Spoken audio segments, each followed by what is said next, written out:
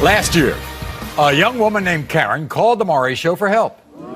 Karen feared that her marriage was nothing but a sham because he was cheating on her all the time. Watch. Maury, my ugly husband's been poking his crooked little in the front butt of our neighbor Helen. I'm sorry my wife's a dumb bitch, doesn't know what she's talking about. He's a two inch cheater, and now I'm stuck with a kid I'm certain is hers. Everyone, please welcome Karen to the Maury Show.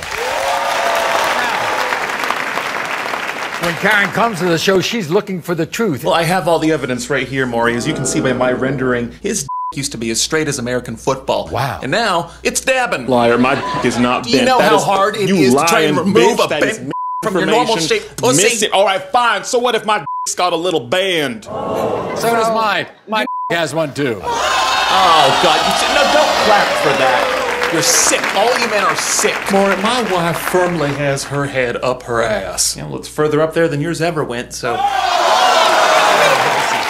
Let's talk about this particular woman. This f***ing whore who's been stealing my cum. Sperm stealer. Karen claimed her now three year old daughter, Teresa, is too short to be her daughter. Yeah, look at the height difference, Maury. I would never give birth to this ugly gremlin, all right? I'm too wholesome. Yeah, with a capital H. Motherfucker, the only thing that starts with a capital H is that whore you've been diddling. This is Helen's story. So what if I f***ed her husband? She's lucky I didn't f*** her. If God didn't want me to be a slut, then why'd he make me so good at sucking dick? Joining us from California is Helen. Fuck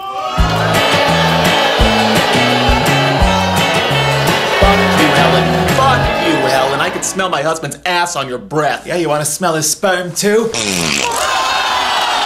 It's bullshit. Helen hopes the results of a DNA test will help put the past behind her. But recently, Helen walked in on Karen being pleasured by one of her own family members. That's not true. No, not true. You f- your family, Karen. I would never f- a family member. Yeah, well, they certainly wouldn't f- you. Have you received oral sex from a family member? You said no. The lie detector test determined that was a lie.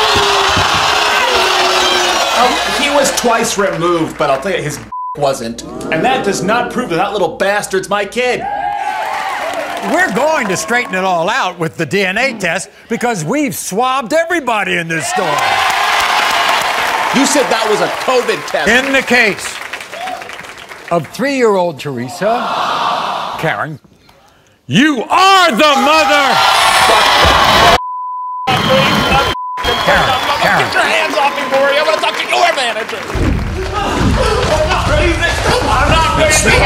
This is your child now. You understand? Well, I want a divorce now. You understand that? That's what you get, bitch. That's what you get.